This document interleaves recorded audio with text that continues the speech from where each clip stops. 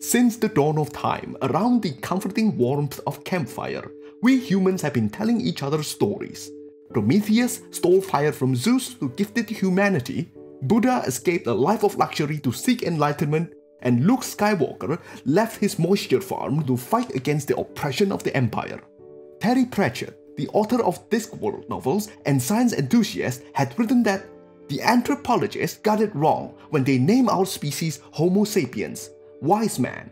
In any case, it is an arrogant and big-headed thing to say, wisdom being one of our least evident features. In reality, we are a Pan narrans, the storytelling chimpanzee. So, what if I tell you that all the story that has ever been told is the same story? Perhaps they don't have the same theme and genre, but they have the same narrative structure. Well, you better not believe it, because it is hogwash. I am sure that you have seen a lot of internet articles and videos making the bold claim that all stories are the same. They would usually cite the work of Joseph Campbell and say that all stories follows the same structure of the hero's journey. This is obviously not true, as Campbell himself never made such claim. In his book, The Hero with a Thousand Faces, Campbell identified recurring pattern found in various mythologies throughout the world he organized them into three acts departure, initiation, and return. He then further separated them into 17 stages. In departure, we have the call to adventure, refusal of the call, supernatural aid, crossing the threshold, and belly of the whale.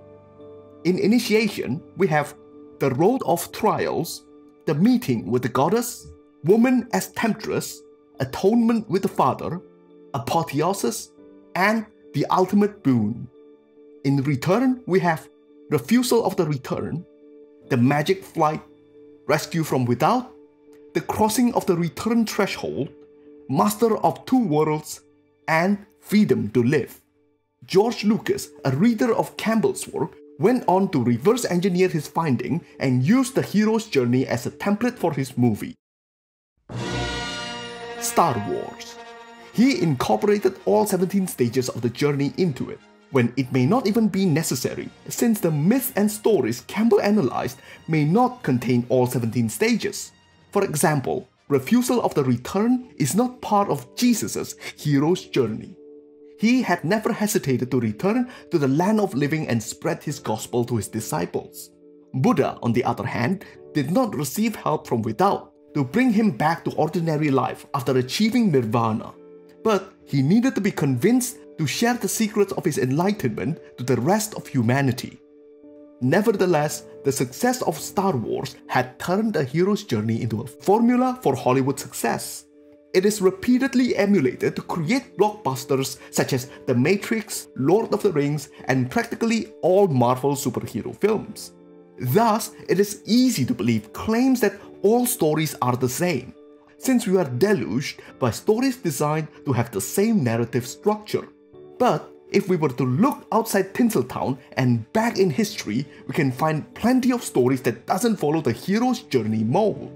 Romeo and Juliet, William Wallace, and Franz Kafka's The Metamorphosis are only some of them. Usually, these stories end with tragedy, with Romeo and Juliet committing suicide and William Wallace getting executed. In the case of Kafka's Metamorphosis, Gregor Samsa experienced a steady downward spiral that eventually led to his demise. This is a complete subversion of the hero's journey. I am sure that there are going to be some individuals online who will take this as a challenge and try to hammer these square peg stories into the hero's journey round hole. But these superficial comparisons ignores the essence of the hero's journey as a narrative of triumph. The heroes either return victorious or with a boon, at whatever expense. Like how Prometheus was chained to a rock and his liver was devoured every day by an eagle as punishment from Zeus. Either way, these heroes succeed at achieving something. The protagonists who never achieve their goals aren't commonly regarded as heroes. Yet, their tragic stories can be as affecting or even more so than your average hero's journey. But why is this so? Let's have a crack at this question, shall we? Let's look back at the hero's journey and ask why is humanity so enamored by this narrative structure in the first place? This is just a hypothesis, but perhaps there is an evolutionary advantage in seeking out these narratives. The hero's journey, in its essence, are stories of success and survival against great odds. It would serve as great roadmap to success.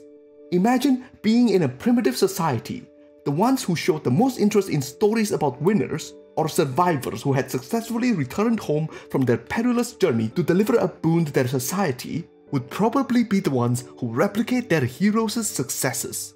These kind of stories are narrative catnips for young people, especially boys. In Japan, this has even become an industry, as Shonen Jump steadily churns out new and ongoing Hero's Journey series every week, like Dragon Ball or One Piece. Hollywood is pretty much doing the same with superhero films, but not as laser focused as those shonen fares. we not only passively consume, but also actively create heroes' journeys. When playing a free-roaming sandbox games, I often see players organically create their own adventures in the mold of the hero's journey. The same goes for new Dungeons & Dragons players. Their first few characters are usually destined for something greater. They wanted to go out there to the world of adventures and fully expect to be back again. But usually, a few character sheets later, I find that players tend to start experimenting with characters that buck the hero's journey mold. Yes, the hero's journey formula works because it exploits our primal instincts. After a while though, the same audience often get tired of the same narrative structure. The movie industry do experience audience churn, but they have the benefit of getting constantly replaced by the younger generation. Historically, the movie-going demographics have always skewed young. So that is why we see a lot of reboots and remakes of heroes' journeys. They are made to cater to the young audience who had never experienced the original. But how about the rest of us? What if we are sick of the hero's journey? Alright ladies and gentlemen, I'm going to present you all with a little trick using the hero's journey to create other kinds of compelling stories.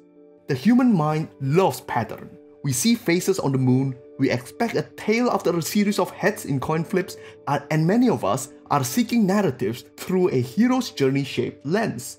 So you can easily create a compelling narrative by cutting out certain parts of the journey. This is a case where less can be more. Without the hero's return, the journey turns into tragedy. Tragedies are powerful narratives. It was also the most popular theatrical form in ancient Greece and tragic heroes can even shape a nation's identity, such as William Wallace for Scotland and the Australian soldiers who died fighting in Gallipoli in the First World War. Now, why are tragedies so powerful?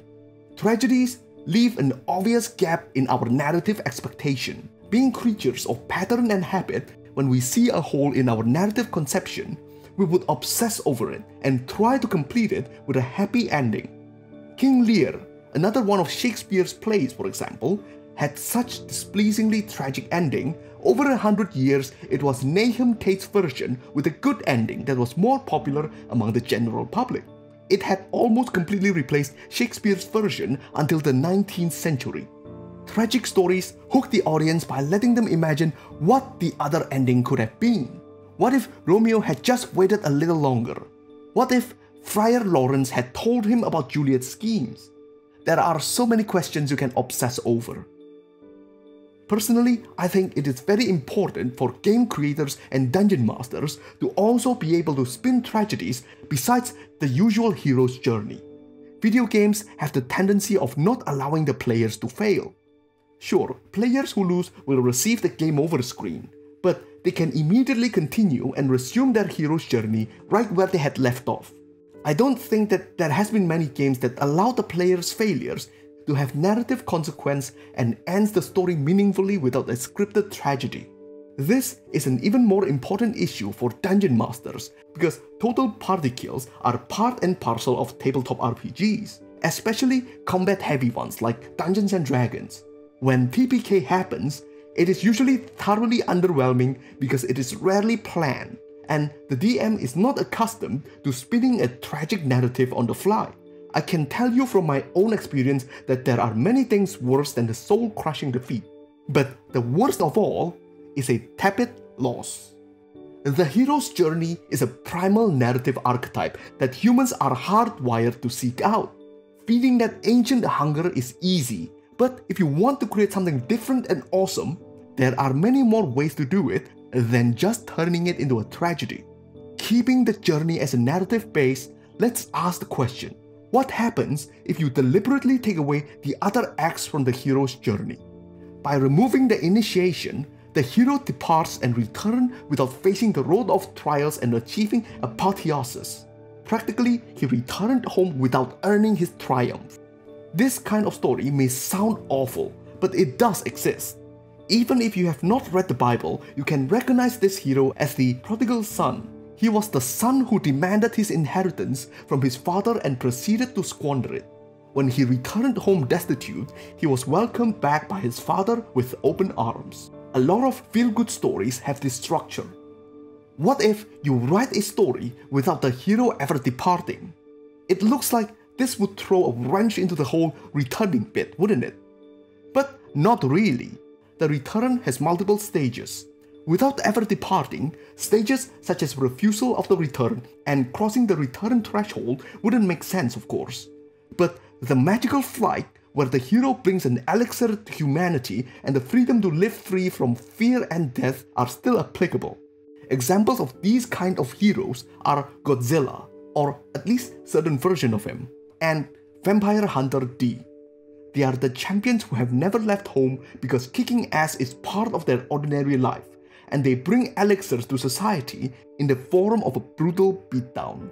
These characters are becoming increasingly rare because everything is getting over-explained by backstories and origin stories. But this is also proof why these stories can be very compelling.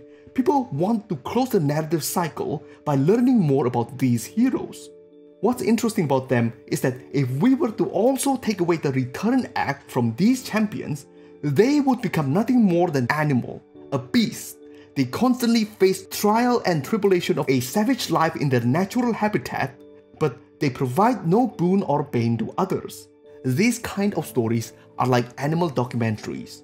It is harder to tell a compelling story when there are more missing pieces. But just to complete the pattern, let's have a look at other stories that are totally dedicated to one act of the hero's journey. A story that consists solely of departure is nothing more than a synopsis on the back of a DVD or a character bio for a game you're about to play. As for a story with only the return act, it takes a certain type of heroes to bring boon to us and have the freedom to live in the moment without the need for initiation. The heroes that fit this description are usually the primal impersonal gods in the mold of the god of the Old Testament or certain ancient Egyptian gods such as Thoth, they don't need to prove anything with initiation because they are already immensely powerful, and there is no limit to their blessings. Alright, so there you go. Knowing how the hero's journey works doesn't mean that you have to replicate it. By judiciously breaking the rules and using some behavioral psychology, you can also create great stories. If you like the video, give it a thumbs up and subscribe. CJ over and out.